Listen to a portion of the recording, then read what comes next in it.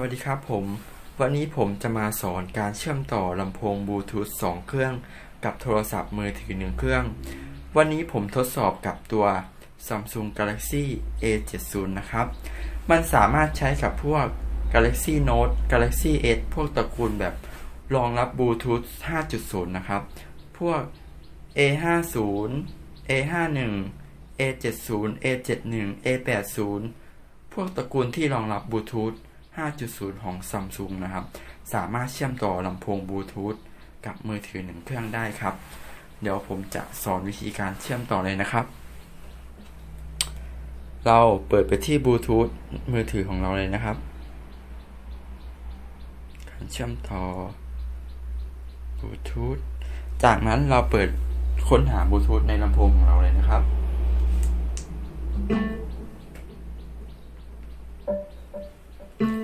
เห็นไหมครับ มันจะขึ้นแล้วครับ หลังจากนั้นให้กดเชื่อมต่อเลยครับ ตัวที่หนึ่งครับ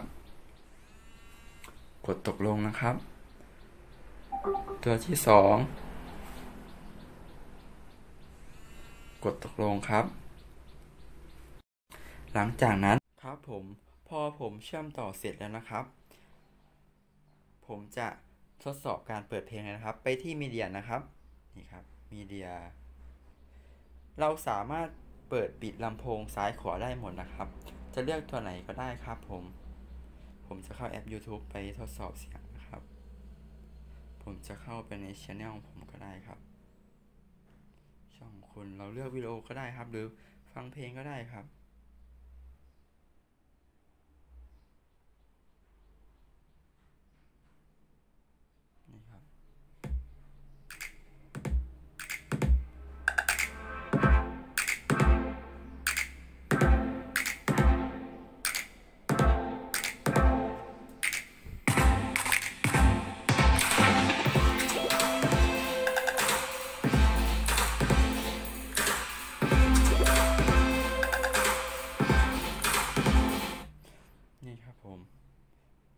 นั้นเลยครับ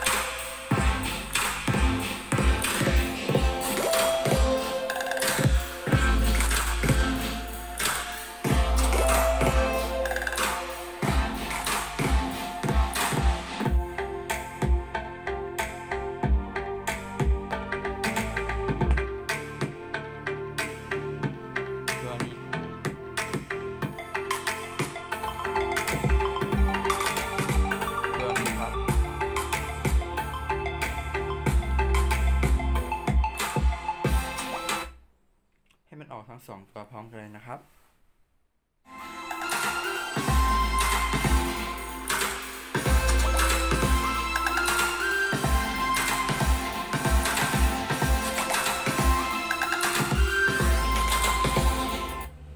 ครับผมการดีเลย์นะครับ มันดีเลย์ประมาณนิดหน่อยครับวิธีแก้นะครับคือให้เราเชื่อมต่อบลูทูธใหม่อีกครั้งหนึ่งครับ ก็คือไม่ใช่ว่าเชื่อมต่อใหม่ตอนแรกครับ เปิดปิดบลูทูธเราเฉยครับ ให้มันการ refresh เครื่องเฉยครับ พอเรา refresh โทรศัพท์เสร็จหรือ refresh บลูทูธเสร็จบลูทูธจะกลับมาเชื่อมต่อใหม่ แล้วทำให้มันไม่ delay แล้วทำให้ลำโพงทั้งสองตัวเสียงมันจะออกพร้อมกันครับผม มันอยู่ที่แอปเลยนะครับ ถ้าแอป YouTube นะครับ มันใช้ไฟเยอะ การบีบอัดข้อมูลเยอะทำให้บลูทูธโทรศัพท์เราส่งไปหาบลูทูธทั้งสองเครื่องเป็นการ delay ครับ แต่ถ้าเราฟังเพลงในแอปพลิเคชัน พวก Spotify พวกอะไร การดีเลย์มันจะน้อยมากเพราะการบิดส่งไฟล์มันต่ำครับผมสำหรับวันนี้ผมก็ขอขอบคุณมากนะครับ ฝากกดไลค์ กดแชร์ กด Subscribe YouTube ด้วยนะครับผมสำหรับวันนี้ขอบคุณครับ